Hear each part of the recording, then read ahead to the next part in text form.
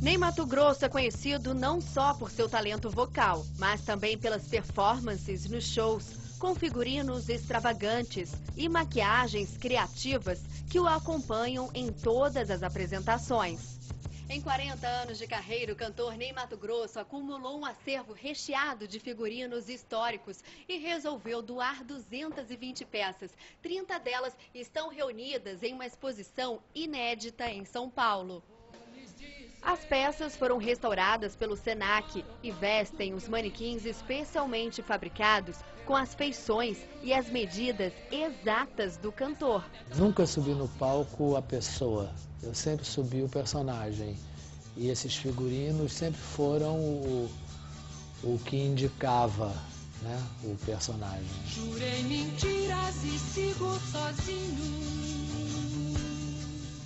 Os figurinos representam vários momentos da carreira artística de Ney Mato Grosso. Esse é da época de Secos e Molhados, na década de 70. Eu sabia que eu vinha com uma imagem muito transgressora, né? E, e eu não tinha medo de transgredir.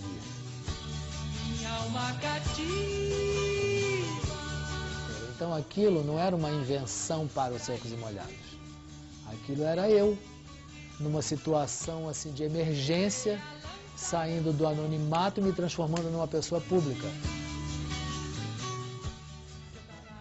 Este outro marca as apresentações de Homens com H em 1981. Os acessórios exagerados e excêntricos também merecem destaque. Alguns foram confeccionados pelo próprio cantor, como esses colares de miçangas. As peças irão compor um espaço permanente de pesquisa para estudantes e fãs de Ney Mato Grosso. A mostra, que tem a curadoria do carnavalesco Milton Cunha, tem esse espaço totalmente interativo, onde qualquer pessoa pode sentir por alguns instantes um pouquinho Ney Mato Grosso.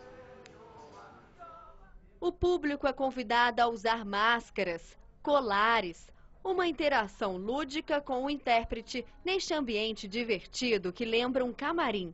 Mas assim como Ney Mato Grosso, só não pode perder o rebolado.